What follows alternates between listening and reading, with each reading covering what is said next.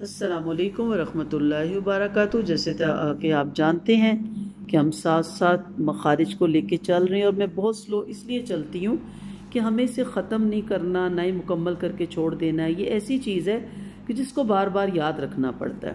ہم پڑھانے والے بھی اکثر بھول جاتے ہیں۔ اگر کچھ عرصے نہ پڑھائیں اور دوبارہ سے ہم کھولتے ہیں، ٹھیک ہے؟ تو کوئی حرج نہیں، بس اس سے ان ٹچ رہنا ہے اور میں بہت سلو مخرج کو لے کے چلوں گی۔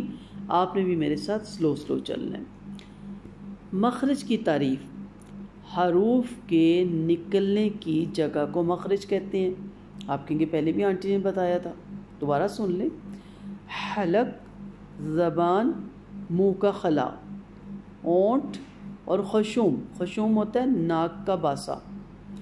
سترہ جگہ ایسی ہیں جہاں سے انتیس سیونٹین جگہ ایسی ہیں جہاں سے ٹوینٹی نائن حروف تاجی ادا ہوتے ہیں۔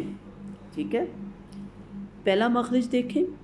منہ کا خالی حصہ، اس سے تین حروف ادا ہوتے ہیں۔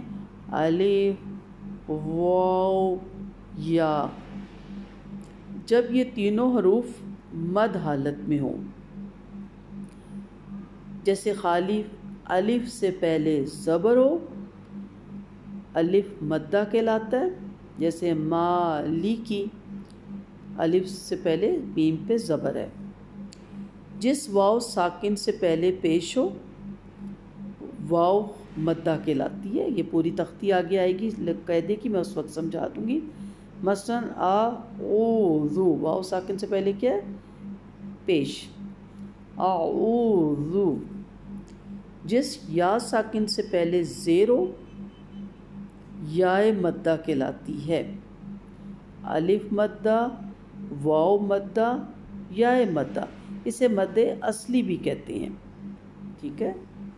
مثلا رحیم، حاضر یحی یا ساکن سے پہلے کیا ہے؟ زیر۔ رحیم، تو ہم کیسے بچوں کو یاد کراتے ہیں؟ حمزہ ساکن سے پہلے زبر واؤ ساکن سے پہلے پیش، یا ساکن سے پہلے زیرو، تو وہ حروف مدہ کہلاتے ہیں اور ان کو بھی ایک انگلی کے برابر لمبا کر کے پڑھا جاتا ہے۔ مالی کی مالی کی نہیں پڑھنا۔ مالی کی آعوذو نہیں پڑھنا۔